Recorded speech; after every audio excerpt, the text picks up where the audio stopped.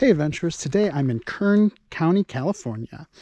We're in the foothills of the Sierras and there is so much to flip here. Just all across this mountainside there are logs and rocks and plenty of great habitat for us to find stuff. So you know what that means. Let's get flipping. And here we are, first set of herps. Uh, these are probably tree frog, tadpoles. Nice to see, you. there's a ton of them in this pond.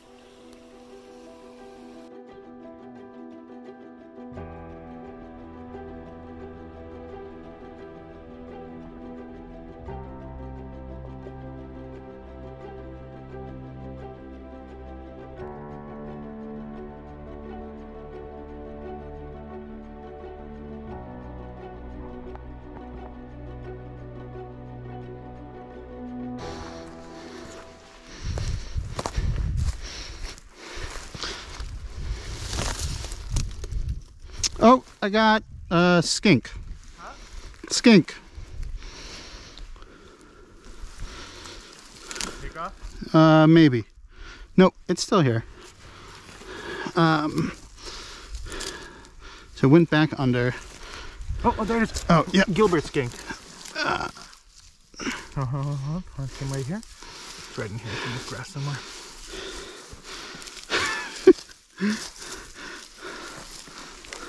Oh yeah, it's like keeps going back and forth. Hell yeah. Nice. Well, Gilbert skink. That's oh. great. I haven't seen one of these in a long time. Yeah. I haven't seen one down in Southern California ever. Fence lizard. Little tiny one. Beautiful blue underneath. Yeah. You can see here, Annie, look at this. He's so young. Come here, buddy. Relax. You can see where he was attached in the egg still on the belly right there. The black, yeah. that's where uh, he was attached to his amniotic sac in the egg. Probably last year's baby.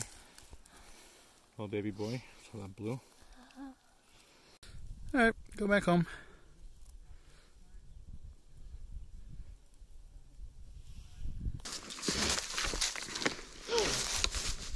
What?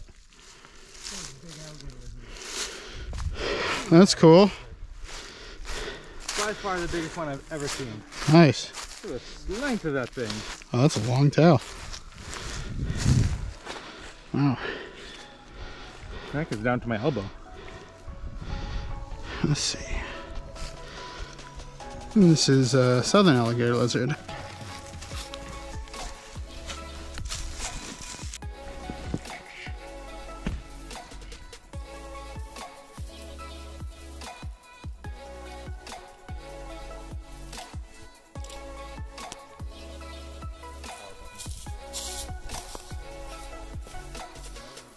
Another Gilbert skink? Yeah. Oh yeah, much smaller. But it doesn't have the bright tail of a Juviat, so it could just be a dwarf. But...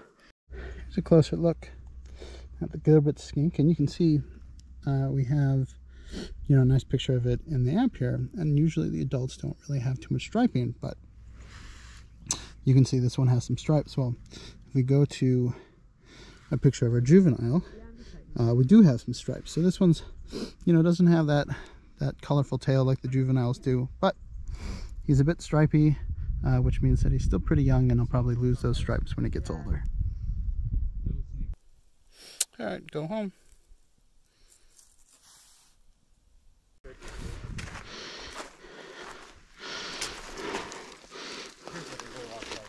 Oh, uh, another skink. Yeah. yeah. Brown tail or tail? Uh, Got a pink tail. Oh, another Gilbert. Awesome. Oh, oh. Oh, I see, I see, I see. It's in here. It's under this rock now. All right, I'm gonna lift this rock. You ready to grab, all right? Where I'm gonna. Oh. It goes there, goes there, goes there. He is. He's right in here. Okay, you have him that pinned down. I am gonna slowly I, pull this back here with his hand. I'm gonna slowly pull these back. One. Oh, he's under, under my hand. he ran right under. all right, lift, and I got. You got him. Yeah. You have him? Yeah, I got him. Okay. Oh yeah, you got blue and red on his tail. That's common. Look, red tail, blue tail. Yeah, that's cool. Normally one or the other. This is right in the area where blue tails become red tails. But as you can see in the same specimen, the blue tail becomes a red tail.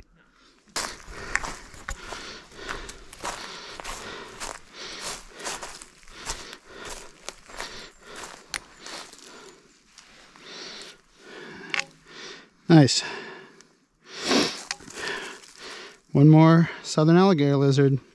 Again, you can identify these from the distinct uh, dark stripes on the back and the little white flecks on the side. Big, big. Uh, skink or? Nice.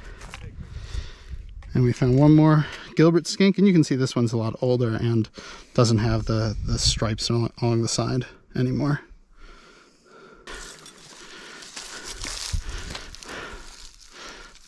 Check. That's cool. Mm-hmm. Here's that scorpion that we just pulled out. Now, unfortunately, I don't know very much about scorpions, so I don't have much to share with you. But it's very cool to see. It's nice to see that's too calm. You can see that nice, that big stinger on the end. Yikes. Oh, a bit of a tragedy. Looks like a dead barn owl. A young barn owl, possibly. Oh well. It's always good to check under poop as well. Uh, it can be for some good habitat, helps keep the soil moist. But nothing under these guys. Nothing. Maybe this one? Nope. So that last spot was really cool. Um, a lot of alligator lizards, a lot of Gilbert skinks, um, and fence lizards as well. Um, I really thought we were going to find some snakes, but not today.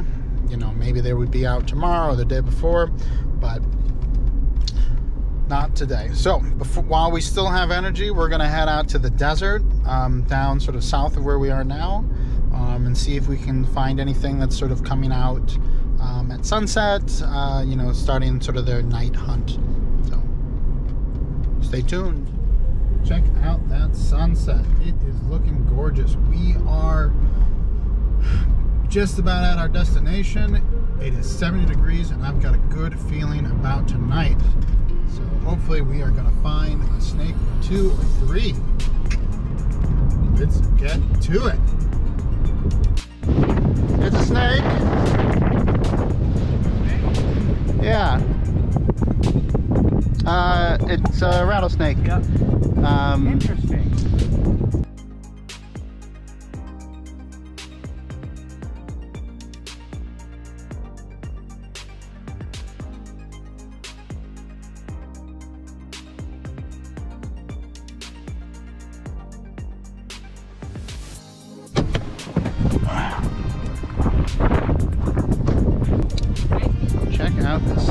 Sidewinder that we just got off the road. It's not super happy with us.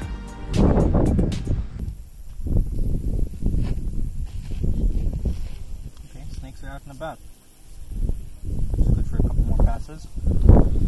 He's gorgeous. He's probably the best looking sidewinder I've seen. See, honey? Yeah. The horns above his head? Yeah. It does two things. One, it keeps the sand out of his eyes when he's hunting and there's wind. Um, the other is during the daytime and early morning, evening, they'll bury themselves into the sand. We'll just use like a thing like, like this. Just his head sticking out. Helps break up the shape of his head prey. Well, that's going to be the end of the night. Two snakes tonight. That's pretty good. Remember to uh, subscribe. The button should be right below. Um, I'm Greg Schechter. This is Schechter Natural History, and I'll see you in the field.